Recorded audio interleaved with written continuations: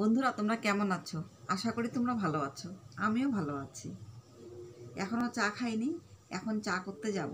তার আগে তোমাদের সাথে একটু কথা বলতে বসলাম। তার আগে একটা কথা বলি, আজকে আমাদের এখানে মুখ্যমন্ত্রী আসবে। এই আমার ঘরের পাশে যে একটা মাঠ আছে বড়, ওই মাঠেই আসবে। হুম তোমাদের অনেক দিন আগে দেখিয়েছিলাম না একটা ব্লগে, বইমেলা হলো, ওই মাঠটাতে আসবে। হ্যাঁ কিন্তু দেখাইতে পারলে ভালো হতো। কিন্তু দেখাতেই তো পারব না, এত ভিড় হবে, কি করে যাব? আর এরপরে তো দশটা, এগারোটার দিকে রান্নাঘরে যাব। দশটার দিকে যাব রান্নাঘরে। হ্যাঁ তোমাদের একটা ভালো নতুন রেসিপি শেয়ার করে দেখাবো। তোমরা দেখবে কিন্তু।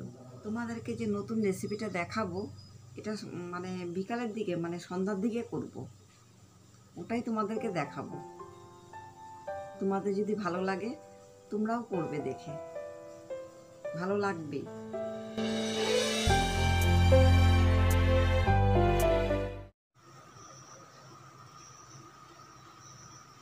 এখন চাটা ওই ঘরে নিয়ে যাচ্ছি, ওই ঘরে খাব। চলো, দেখতে থাকো।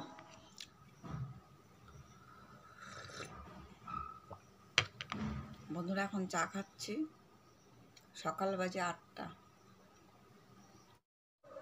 দেখো না, কয়েকদিন থেকে খুব রৌদ্র। গরমই সহ্য করা যাচ্ছে না। খুব রৌদ্র উঠেছে আজকেও।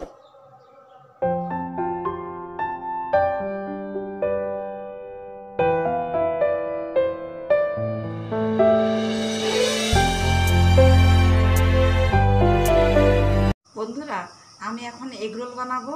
পারব কিনা জানি না। এখন সন্ধ্যা সময়, বসছি এখন বানাতে। জানি না দোকানের মতো হবে কি না দেখি, চেষ্টা করব। দেখতে থাকো তোমরা। এখানে ময়দা নিয়েছি। ময়দাতে একটু লবণ দিব।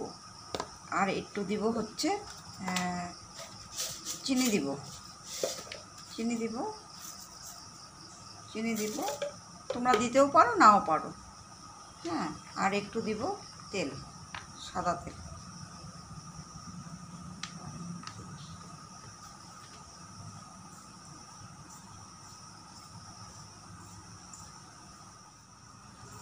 বন্ধুরা দেখো, এইভাবে আগে মাখতে হবে।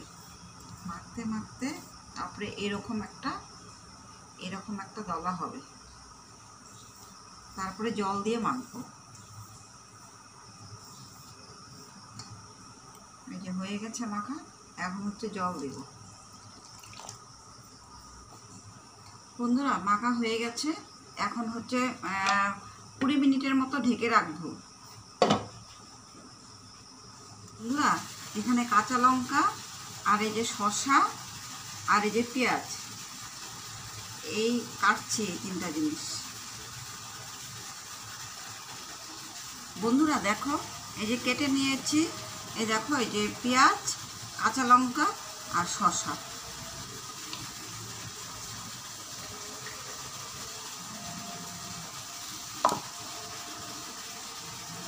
তোমরা দেখো এই যে এরকম করে লম্বা করতে হবে। করার পরে এই যে এইভাবে পেঁয়াজ দিতে হবে।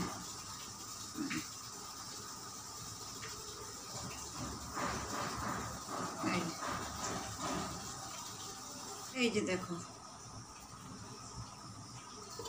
পাঁচ মিনিটের জন্য ঢেকে রেখে দিলাম। পাঁচ মিনিট পরে তারপরে করব। দশ মিনিট রাখলে ভালো হতো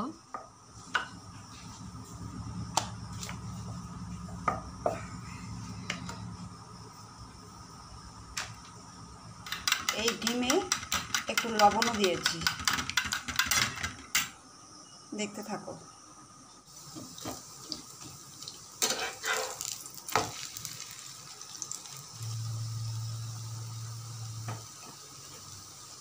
বন্ধুরা, এই যে এটার উপরে এখন ডিমটা দিয়ে দিব দেখো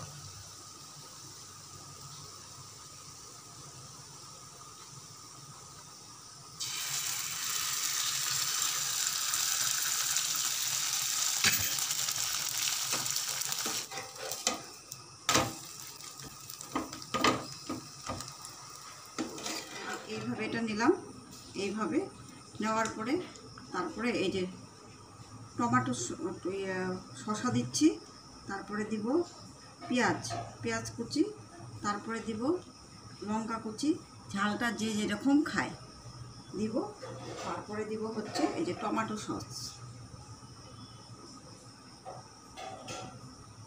টমেটো সস, তারপরে দিব এই লঙ্কা, অল্প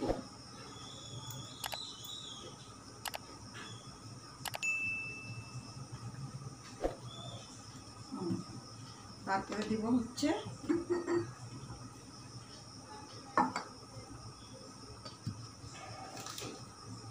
তারপরে দিব এই যে সোয়া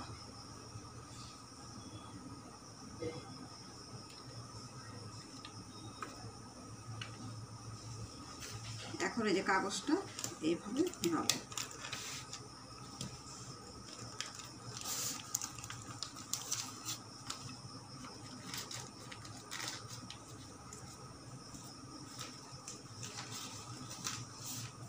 এই যে হয়ে গেল এই যে দুটো হয়ে গেল। ভিডিওটি যদি ভালো লাগে তোমাদের, তাহলে লাইক কমেন্ট শেয়ার সাবস্ক্রাইব করবে।